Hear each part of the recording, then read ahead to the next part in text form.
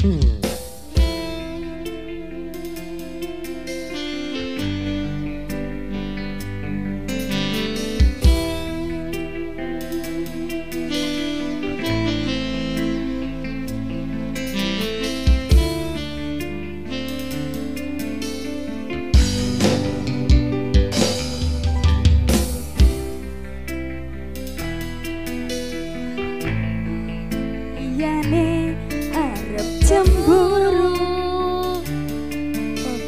sapa sapa ni